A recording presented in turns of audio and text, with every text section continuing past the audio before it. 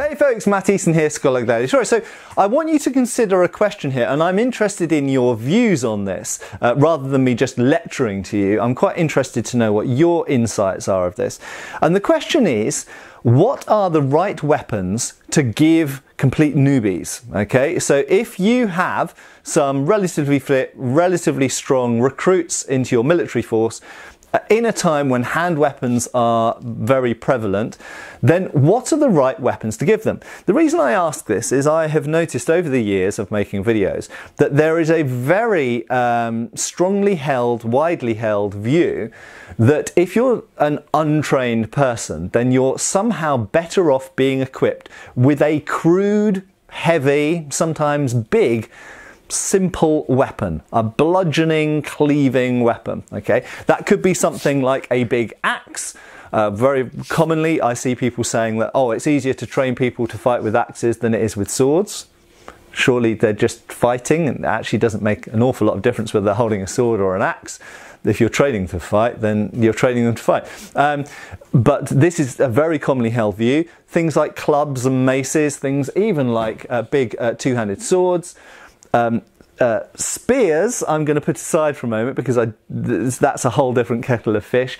But large, heavy, sort of bludgeoning or cleaving weapons, there seems to be this view, whether it's people coming from uh, role playing backgrounds or even maybe video gaming backgrounds, I don't know. Uh, movies, I think, probably don't help with this, that the, the kind of the henchman the henchman often uses a big heavy weapon and just swings it with abandon. Uh, and it has to be said in some video games, uh, as you know, I've been playing Bannerlord recently. In some video games, uh, two handed weapons are probably made quicker than they should be. Uh, uh, two heavy, uh, heavy two handed weapons are made quicker than they should be, um, such that sometimes quicker than little light swords and one handed swords and stuff.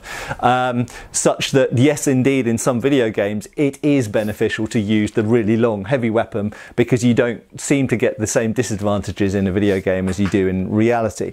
Now, what I will say before I sort of open this up to your comments and thoughts on this subject is that my experience is somewhat different from this. Um, so, without a shadow of a doubt, and this is where we bring spears into it again, without a shadow of a doubt, I have found that if you're doing melees, you know, skirmishing, this kind of stuff, group fighting, or if you're doing one on one fighting, if you have someone who basically is relatively new, relatively untrained, or might just be someone who just isn't very good, if you want, if you can give them any weapon, aside from missile weapons, okay, hand to hand weapons, if you can give them any weapon and you want them to stand a good chance of actually beating someone who's pretty good with a sword, for example, then you give them a spear.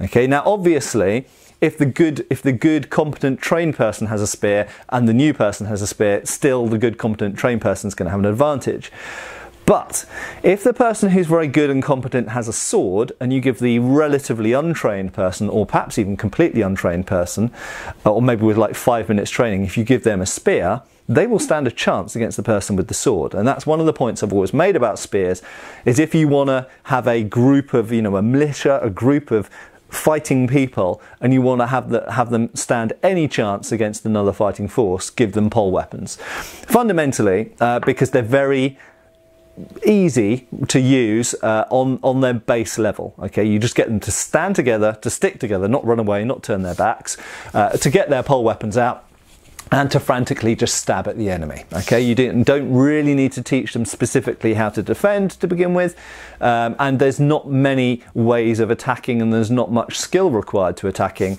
If anybody anybody who's able to do that is able to stab with a spear. Okay, not necessarily true with a thing like a sword or even an axe, uh, where swinging it and cutting effectively mm, sometimes requires some degree of at least getting the edge pointing in the right direction and knowing how to swing the thing, having the strength to swing the thing, this kind of stuff.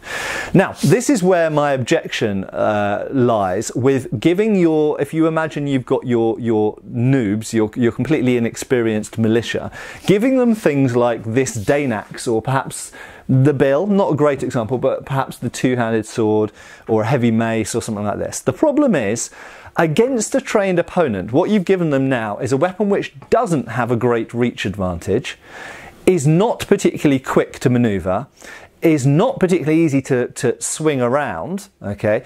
And also, particularly if we come back to the speed point, gives in terms of the initial speed of swing, might not be bad, but in terms of the recovery and perhaps a following up attack or perhaps defending themselves, is really quite a difficult object to do that with. Now, if you take um, two skilled people and one has, say, for example, a Dane axe or um, the Zweihander, and the other skilled person has, I mean, I'll just pick one at random. I'll pick a Spadroon as an extreme example.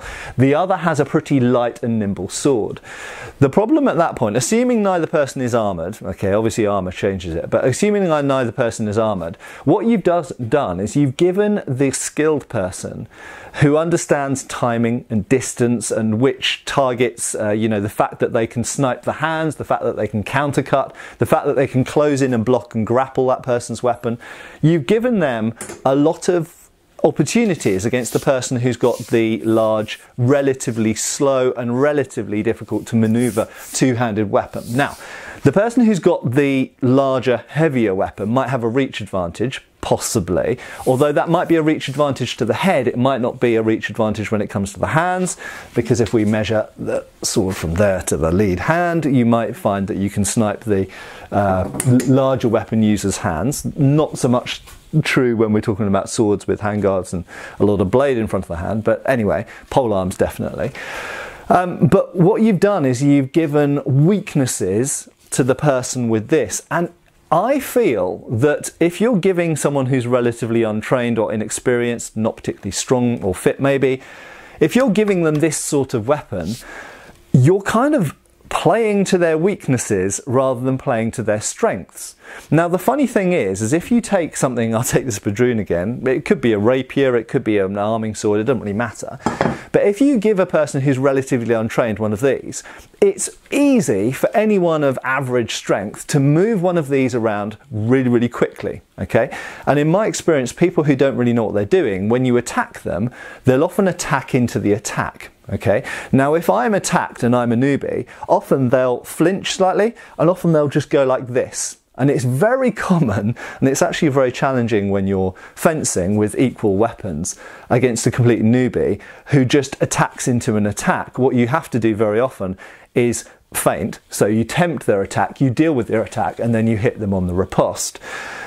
But uh, what the newbie can do is they've got the ability to move this thing quickly and easily, and they don't need to, they might not do a very effective um, hit on you, but they might relatively easy get the point or the edge into you or hit some part of you as you're trying to attack them. So they're actually quite dangerous because they can move the thing around quickly. Now, if they're a newbie who doesn't really know what they're doing, they can't do that so easily with the big, heavier, kind of cruder weapon, especially when people are talking things like wood chopping axes, which don't have a reach advantage over a sword.